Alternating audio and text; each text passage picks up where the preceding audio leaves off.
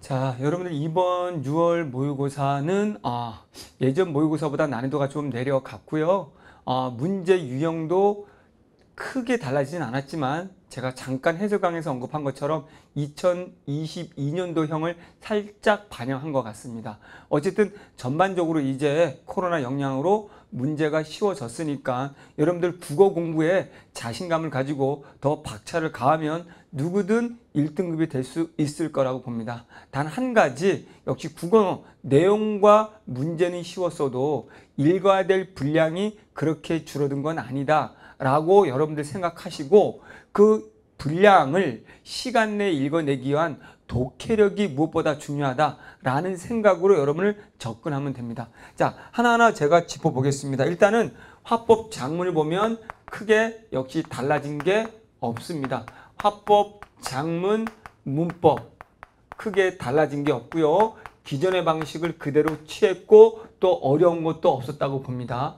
두 번째 이제 우리가 문학, 우리 문학을 보면 어, 역시 EBS 반영에 여러분 관심이 있을 텐데 EBS에서 현대시 하나 그리고 어, 고전 시간은 반영되지 않았다고 보는, 보지만 누구나 아는 관동별격이 나왔고 그 다음에 역시 소설에서도 전우치는 있었는데 희곡과 결합을 했습니다. 그래서 EBS는 약 뭐 50% 정도 반영됐다고 보지만 거기에 나오는 현대 시의 어, 작품은 동일하지만 역시 문제는 달랐다는 것과 그리고 우리 고전 소설도 역시 반영을 했는데 지문 자체가 달라졌다라는 것과 그 다음에 현대 소설도 EBS가 나왔는데 지문 자체가 달라졌다. 그러면 지문 자체가 달라졌다는 건 당연히 문제도 달라졌겠죠.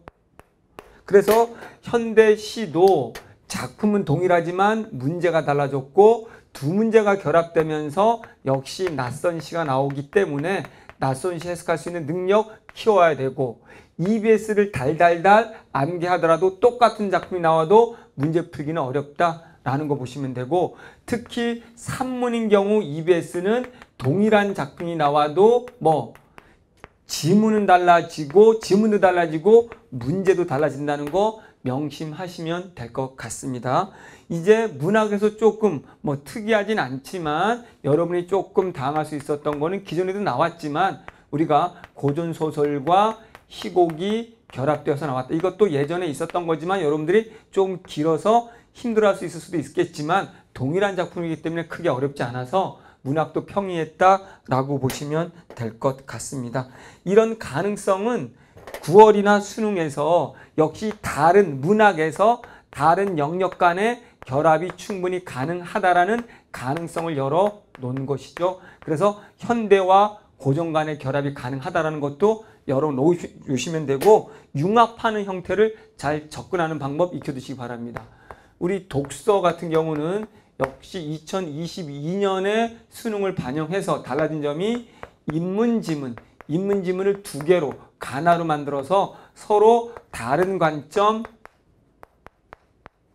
대비하는 그런 제시문을 주었고 그래서 크게 내용은 어렵지 않았습니다. 그래서 요거는 또 다른 또 형태지만 올해 이런 형태가 구조가 아, 형태 구조가 논리적 구조가 출제될 가능성이 높아졌죠. 자, 그래서 이런 것들은 사실은 어, 여러분들 이제 인문끼리 같은 내용 결합했지만 제가 본다는 분명히 서로 다른 인문이 가가 나오고 나가 예를 든다면 경제가 나올 수도 있다는 거죠. 그러나 같은 주제 속에서 묶일 거라는 거죠. 어쨌든 이런 것도 같은 동일한 주제 속에서 읽어가는 힘을 키우면 될 것 같습니다.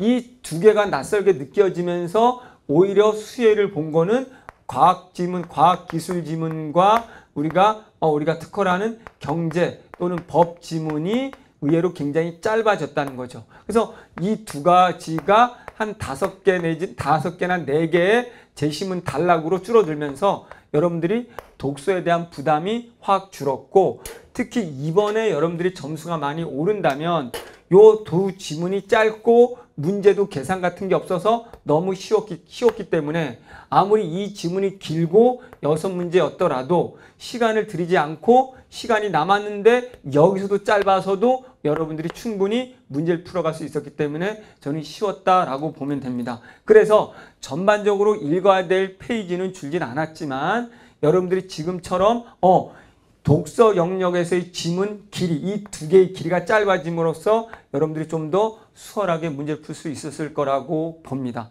자 이렇게 전반적으로 제가 예측한 것처럼 문제는 쉬워졌고요.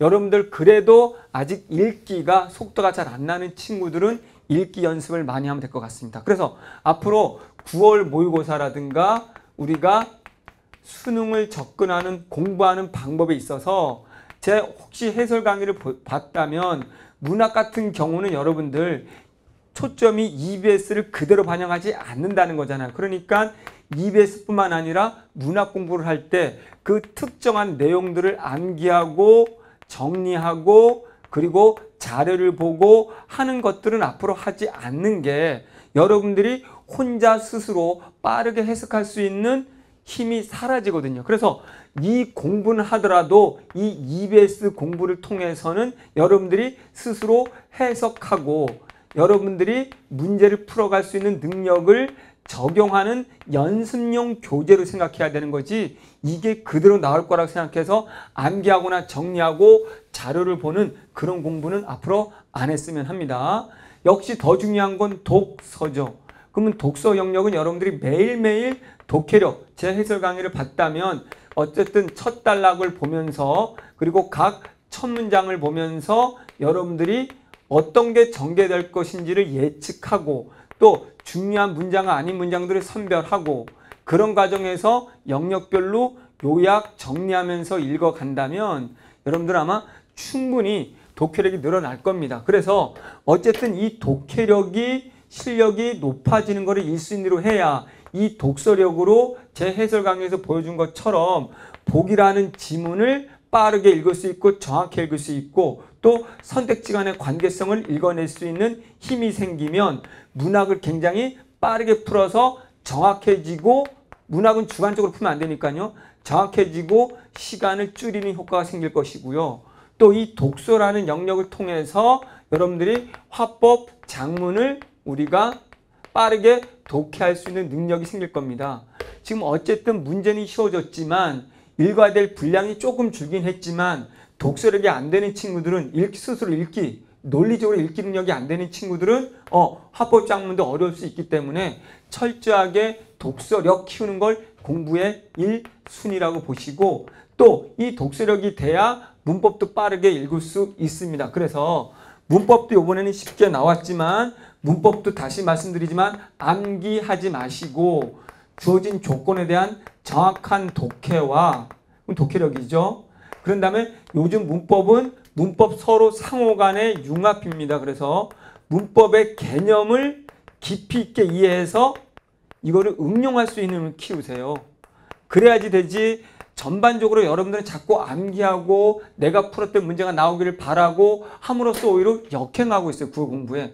잘못된 국어 공부 방식을 버리고 6월 이후에 여러분들 충분히 가능성이 있으니까 이렇게 아, 논리적으로 풀어간다는 게 무엇인가라는 걸 익히고 여러분들도 이제 가장 힘들었던 과목이 여러분을 가장 효자 과목으로 바꿀 수 있다는 거. 그러니까 논리라는 독해력으로 읽으라는 거. 글쓰기 논리로 공부하라는 거 명심해 두시고 앞으로 오늘 시험 본 거에서 혹시 잘 본 친구들이라면 너무 자만심을 갖지 마세요. 눈이 우리 N생들은 알 거예요. 6월, 9월. 그것의 깊이와 수능의 깊이는 달라요. 그래서 9월, 6월, 9월 잘 봤다고 자만하다가 수능 때 망치게 되는 경우가 많기 때문에 그 자만심을 경계하고 못 본 친구들은 지금 올 시간이 없습니다. 내가 못 봤다면은 내가 그동안 잘못된 공부를 했거나 올바른 공부를 하지 못해서 스스로 풀어갈 수 있는 힘이 없었기 때문에 그래서 오늘 이후에 과감하게 공부 방법을 바꿔서 여러분들이 읽어갈 수 있는 논리적으로 읽어갈 수 있는 힘 그쪽으로 방향성을 전환해서 열심히 한다면 여러분도 수능날 반드시 1등급이 되리라고 봅니다. 감사합니다.